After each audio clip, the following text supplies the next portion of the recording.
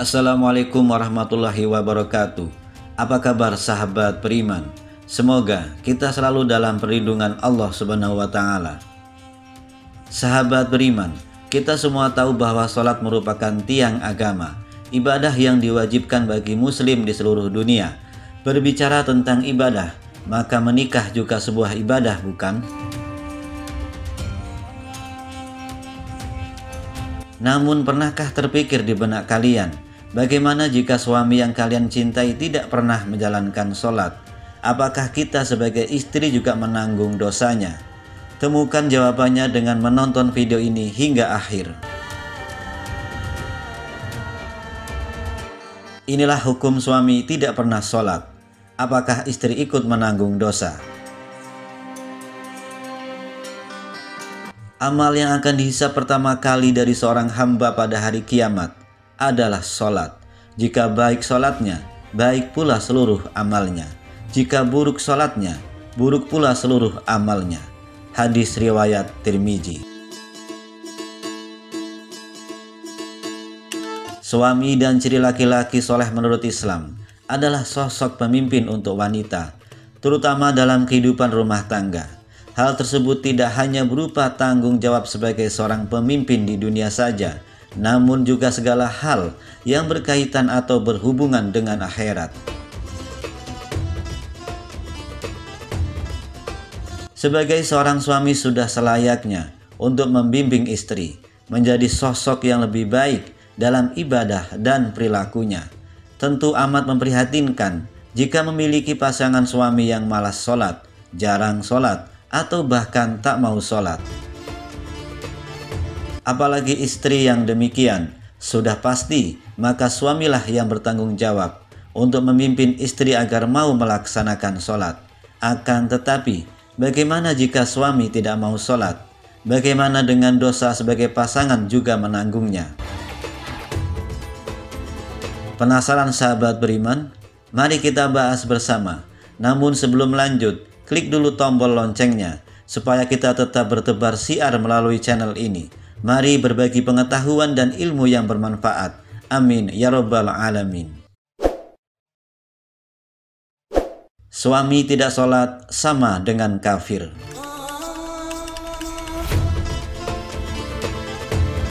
Jika seorang wanita menikah dengan pria yang tidak pernah menunaikan sholat jamaah, begitu pula tidak menunaikan sholat lima waktu di rumahnya, maka menikahnya tidaklah sah dan tidak sesuai tujuan pernikahan dalam Islam. Karena orang yang meninggalkan sholat itu kafir, sebagaimana hal ini dijelaskan dalam Al-Quran, hadis, dan dapat dilihat pura dalam perkataan para sahabat. Abdullah bin Sakik mengatakan, Dulu para sahabat Muhammad Wasallam tidaklah pernah menganggap suatu amal yang apabila ditinggalkan menyebabkan kafir kecuali sholat. Maka jika kamu telah mengetahui bahwa mereka benar-benar beriman, maka janganlah kamu kembalikan mereka kepada suami-suami mereka, orang-orang kafir. Mereka tiada halal bagi orang-orang kafir itu, dan orang kafir itu tiada halal pula bagi mereka.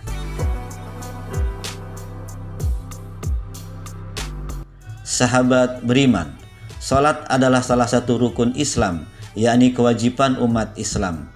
Jika ada seorang yang tidak melakukan kewajiban umat Islam tersebut, maka sama saja ia bukanlah orang Islam. Orang tersebut adalah kafir karena tidak ada orang sungguh-sungguh memeluk agama Islam namun tidak menjalankannya.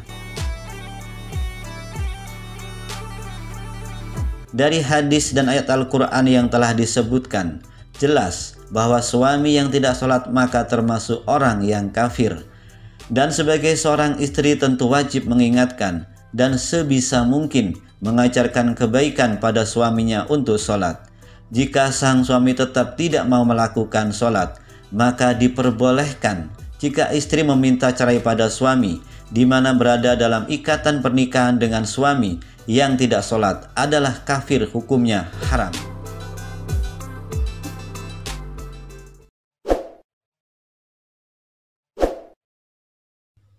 Dosa suami yang tidak sholat.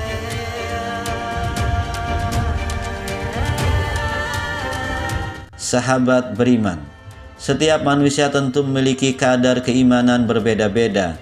Suami tidak selalu lebih unggul dari istri dalam hal agama atau ibadah. Namun, suami bagaimanapun kadar keimanan tetap wajib sholat. Bahkan dianjurkan bagi untuk sholat di masjid, seperti pada hadis berikut ini.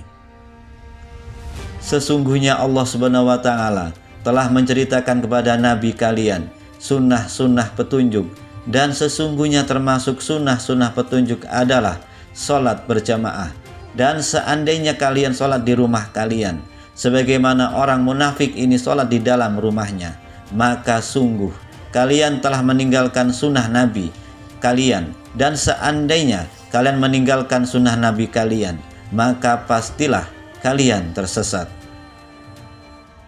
Sungguh aku telah melihat kami di zaman Rasulullah SAW. Tidak ada seorang pun yang meninggalkan sholat berjamaah, melainkan orang munafik yang jelas-jelas munafik. Sungguh ada seorang laki-laki yang didatangkan dengan dipapah di antara dua orang laki-laki hingga diperdirikan di dalam barisan. Hadis riwayat Ahmad 3616.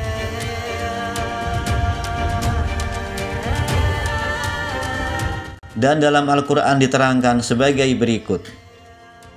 Maka datanglah sesudah mereka pengganti yang jelek yang menyanyiakan sholat dan memperturutkan hawa nafsunya. Maka mereka kelak akan menemui al-khoya kecuali orang yang bertobat, beriman dan beramal saleh. Quran Surat Maryam 59 sampai 60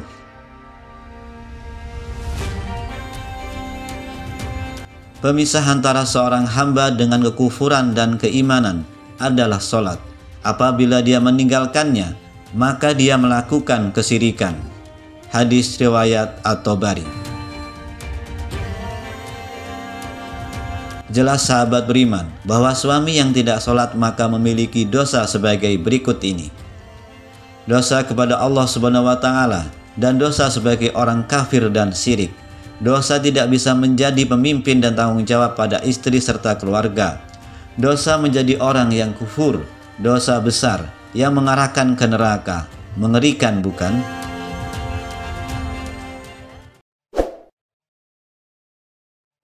Hukum suami tidak sholat dalam Islam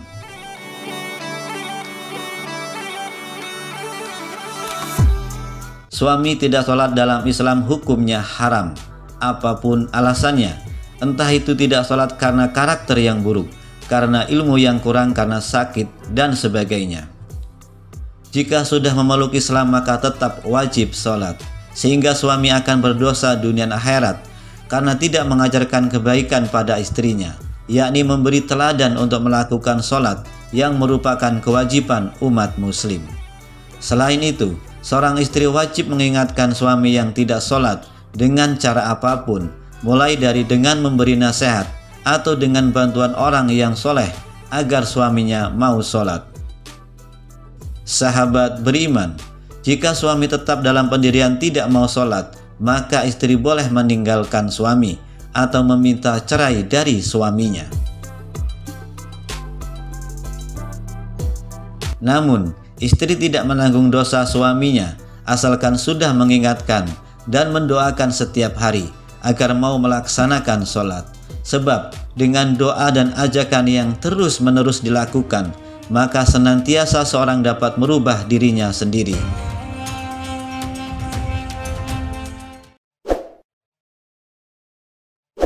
Jika suami tidak sholat, bolehkah istri tetap bertahan?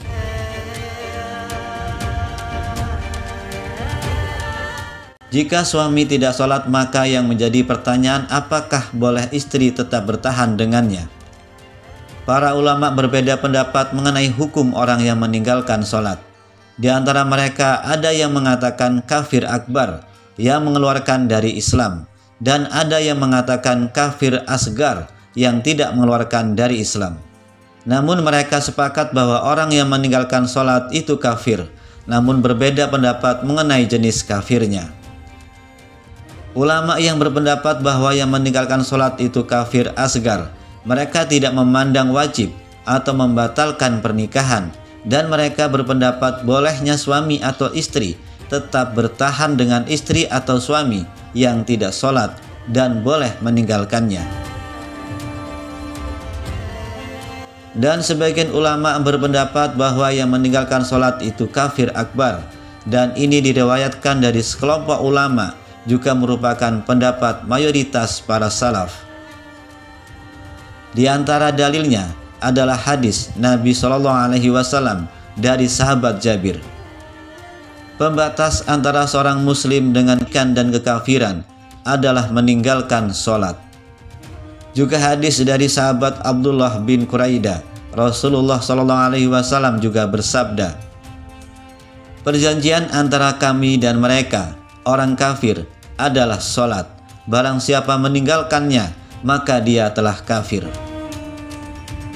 Maka mereka berpendapat tidak boleh sama sekali suami atau istri bertahan dengan istri atau suami yang meninggalkan sholat. Adapun orang yang terkadang sholat dan terkadang tidak, mereka memandang dalam masalah ini yang rajih atau kuat, orang tersebut tidak kafir. Namun ia telah melakukan dosa yang besar tetapi tetap tidak kafir. Sebagaimana dalam hadis Nasr bin Hasim dari Nabi Shallallahu alaihi wasallam mengenai kisah salah seorang lelaki dari kaumnya diriwayatkan dalam Al-Musnad dan ini hal yang ma'ruf. Iman adalah dengan membenarkan, namun bukan hanya sekedar membenarkan atau meyakini saja, tapi melaksanakannya. Kalau iman hanya membenarkan saja, tentu iblis, Fir'aun dan kaumnya, kaum soleh dan orang Yahudi yang membenarkan bahwa Muhammad adalah utusan Allah. Mereka meyakini hal ini sebagaimana mereka mengenal anak-anak mereka. Tentu mereka semua akan disebut orang yang beriman.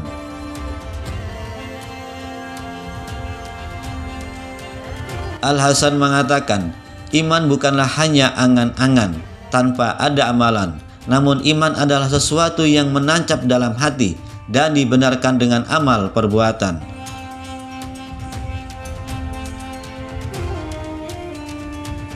Sudah paham sahabat beriman? Mari bangun channel ini dengan cara klik tombol subscribe, like, komen, dan aktifkan tombol loncengnya. Wassalamualaikum warahmatullahi wabarakatuh.